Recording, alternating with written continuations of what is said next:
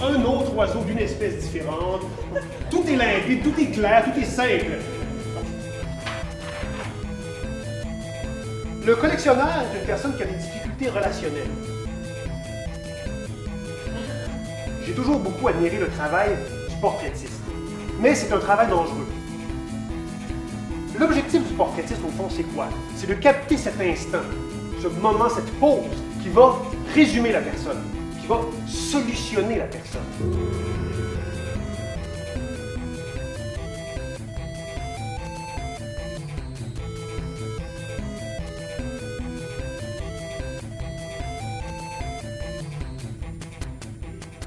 Pour qu'Aurore puisse un jour devenir la merveille du nouveau monde.